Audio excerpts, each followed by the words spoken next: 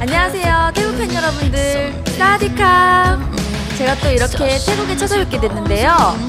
또 클레오 팀이랑 같이 커버슛을 또다시 2년 만에 촬영하게 돼서 너무 기쁘고요. 여러분들도 팬사인회나 아니면 여러 강연회에서 많이 만나뵀으면 좋겠어요. 클레오에서 봐요. 안녕!